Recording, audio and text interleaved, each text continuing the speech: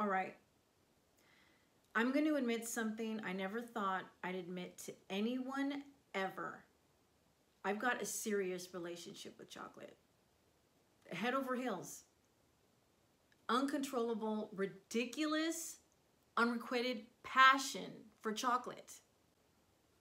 Now, I know this sounds like I have a problem. Maybe I do have a problem. But I don't want fixing. Today, I decided to melt a tub full of chocolate and soak in it until my skin pruned. If you knew chocolate the way I knew chocolate, you would not be looking at me with those wide eyes thinking I'm insane. You would indulge.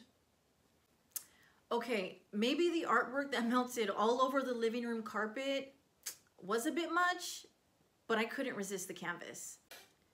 Chocolate, it's beauty, it's rich, it's life. It gives me life, so much life.